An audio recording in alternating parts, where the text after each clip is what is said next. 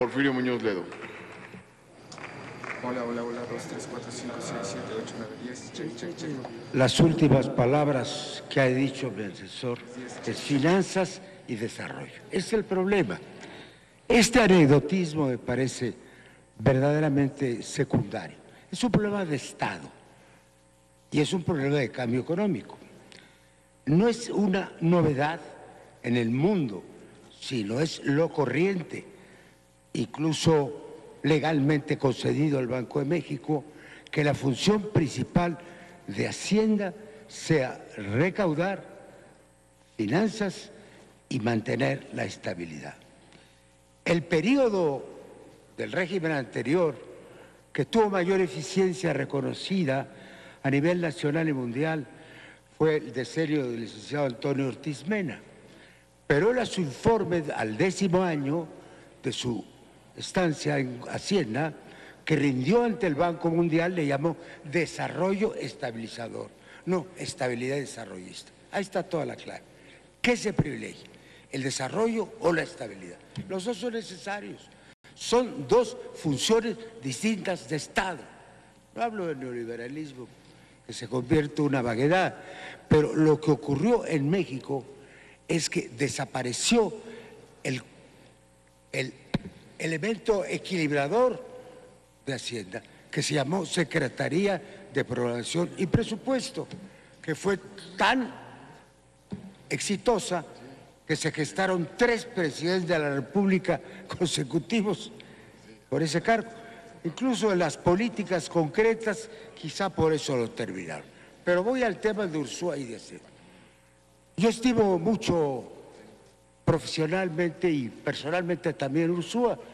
Me parece un hombre competente, muy consistente en lo que hacen, pero poco flexible. Es decir, aquellos ministros de Hacienda que comenzaban desarrollo con estabilización, y lo hacen en cualquier gobierno del mundo. ¿eh? En Estados Unidos es la oficina del presupuesto contra tesorería. Tesorería es Hacienda, que recauda el dinero y quiere mandar. Y la oficina del presupuesto del otro lado, que él está obligado a gastar. Este no es un problema novedoso. Entonces, ¿qué pasó en este país? Miren, es la crónica de una renuncia anunciada. Cuando recibimos el, el, programa, el plan de gobierno del presidente López Obrador, en la noche, creo que estabas tú también ahí, estaba Mario, desde luego Delgado, no supimos qué pasaba porque nos mandó Hacienda su propio programa.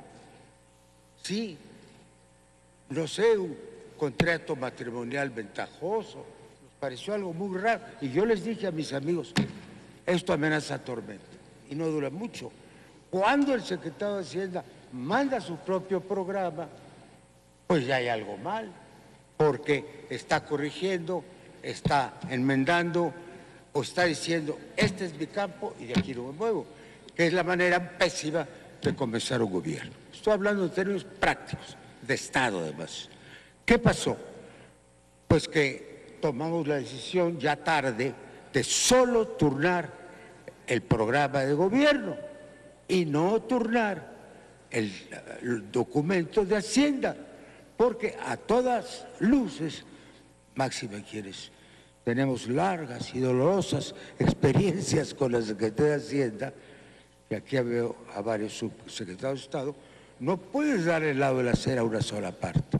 Si no hay equilibrio entre el organismo que gasta y el organismo que colecta, vas necesariamente a una política contraccionista. ¿Sí? Contraccionista. Pues, ¿qué se necesita en el país hoy? ¿Contraccionismo o expansionismo? A mí me parece un dato mayor, mayor de esta conversación, que es obviamente polémica, que prácticamente todos los oradores han censurado la baja de crecimiento del gobierno, la baja de inversión pública. Pues entonces procede quitar al secretario de Hacienda. Sí, si veo rebeldías en el ejército, perdón. Sí, sí, vamos a discutir. Sí, si quieres preguntarme, pregúntame, Beatriz. La senadora Beatriz Paredes desea preguntarle a usted, este, diputado Muñoz Ledo, ¿acepta la pregunta? Claro, Adelante, nos hemos vivido discutiendo. Mi querido diputado Muñoz Mi Ledo, querida amiga, siempre es eh, grato escucharlo y eh, valorar cómo coloca usted eh, los eh, debates en otra dimensión. así es, el eh, propósito. Lo, lo valoro. Me disculpo por ser tan terrenal. No, El, eh, me, me parece que hay un eh, eh, asunto que tendrá que revisar el gobierno y ojalá lo revise pronto. Creo que una de las cosas que desnaturalizan a la Secretaría de Hacienda y que han sido foco de fricción entre el titular y otros niveles de la Secretaría es la concentración de las adquisiciones. El papel También. de adquirir todos los bienes que requiere el sector público para su funcionamiento no estaba observado en la Ley Orgánica de la Administración Pública de muchas administraciones, tampoco estuvo observado así cuando el actual presidente de la República fue jefe de gobierno en la Ciudad de México. El tema de las adquisiciones está haciendo crisis en muchas áreas y aparentemente también genera fricciones por los niveles de autoridad jerárquica entre el titular de la Secretaría de Hacienda y otras áreas de su secretaría. Así es. Simplemente lo pongo sobre la mesa para escuchar su opinión. Pienso en el mismo sentido que usted. Existía la Secretaría de Bienes Nacionales, que luego se convirtió en Secretaría del Patrimonio. Yo inicié mi carrera pública a la edad de 17 años trabajando en la Secretaría de Bienes Nacionales. Entonces, conozco esa evolución. El tema, fíjese- fíjate, has hablado de algo muy importante. La concentración de facultades en Hacienda ha sido cada vez mayor. Como pones este ejemplo, puedes poner cualquier otro. Lo único que logramos quitarle eran 800 fideicomisos. 800 fideicomisos. Digo, quienes hemos estado en el lado desarrollista del gobierno y cuya pesadilla han sido los excesos. Hay un autor historiador, Krause, que ha dicho que la presidencia imperial. Yo le dije una vez, aquí lo único que hay imperial en este país es Hacienda. Es lo único que hay de imperial, es decir, en todo. Entonces es una gran tentación. No culpo a Ursúa porque él se formó en esa escuela. Sí, él se formó en esa escuela. Cuando él dice que se le hacen gra- graves este, daños a la economía del país, cuando él fue secretario de Hacienda y el crecimiento está tan bajo, pues de una vez hubiera renunciado. El suicidio nunca lo recomiendo a ningún funcionario, ni persona alguno. Mi fe me lo impide.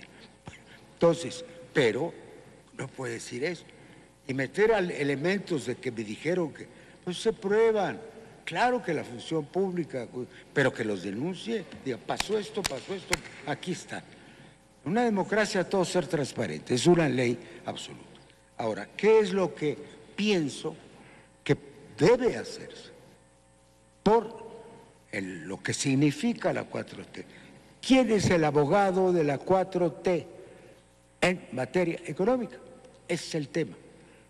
Y eso hay que, hay- existe economía, existe trabajo, trabajo es un miembro del equipo económico, creo que debe haber un nuevo equilibrio de funciones y esto se está haciendo con el tiempo. Yo agradezco a Ursúa que sea un funcionario tan competente, pero aún el más competente puede no estar en el lugar preciso y el momento preciso. Les te lo deseo lo mejor. Muchas gracias. Muchas gracias, diputado. Tiene la palabra